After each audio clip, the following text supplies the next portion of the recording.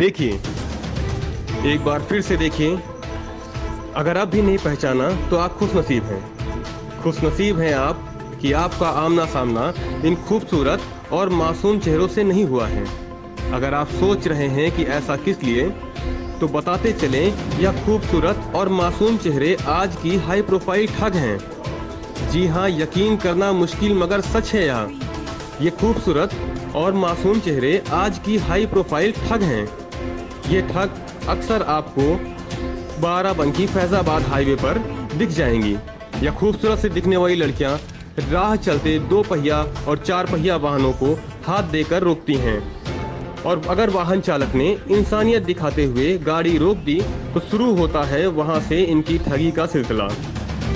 वाहन चालकों को यह अपने आप को कश्मीर से भगाया हुआ बताती हैं और पहले तो उसे अपने जाल में फंसाती हैं और फिर मौका पाकर मदद के नाम पर उससे पैसे ठग लेती हैं।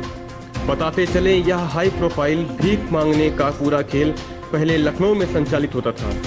मगर लखनऊ पुलिस की सख्ती के बाद इन्होंने इन दिनों अपना नया ठिकाना ढूंढ लिया है। इन दिनों इन्होंने अपना नया ठिकाना बाराबंकी ज़िले को बनाया है। जी हाँ जब हमारे पत्रकार ने इन पाँचों लड़कियों का वीडियो बनाकर उनसे उनकी परेशानी जाननी चाहिए तो यह सारी ठग अपना अपना चेहरा छुपाने लगे और गुस्से में अपना आपा खो बैठी। लोग पूछ रहे हैं। मैडम हम पत्रकार हैं आपसे जानना चाहेंगे आपकी परेशानी क्या है? हम पत्रकार हैं आपसे जानना चाहेंगे आपकी परेशानी क्या है? आप यहाँ पे क्यों मतलब इस तरह रोक के क्या परेशानी है आपके पास? नहीं मैं आपसे जानना चाहता हूँ क्यों यहाँ के लोगों को बदनाम कर रहे हो?